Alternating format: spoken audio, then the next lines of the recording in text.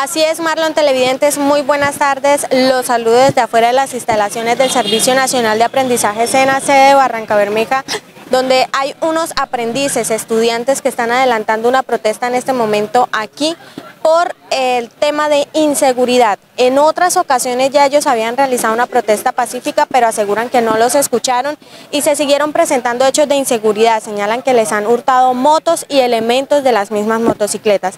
Pero me encuentro en este momento con Chaday Hernández. Ella es una de las estudiantes y nos va a explicar la problemática que presentan. Chaday, buenas tardes. Cuéntele a la comunidad de Barranca Bermeja por lo que ustedes hoy se están quejando.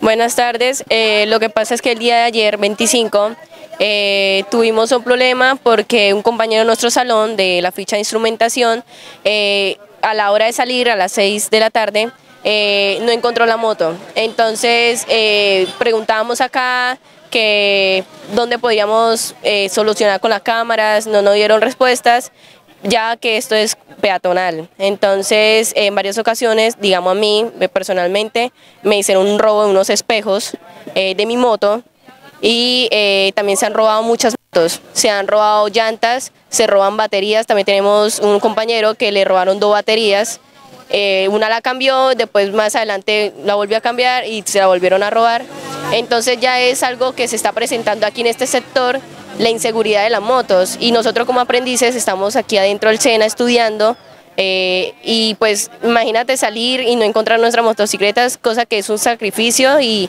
es muy difícil que venga una persona y nos roben las cosas. Ya, ya ustedes se han acercado a las administrativas del SENA, ¿qué les han dicho?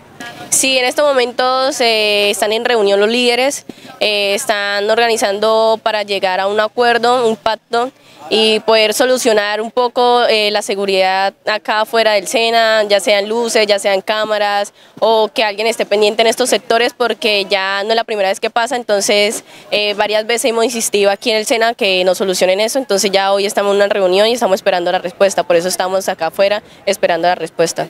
¿Este tipo de hurtos se han presentado en horas del día o solamente en la noche?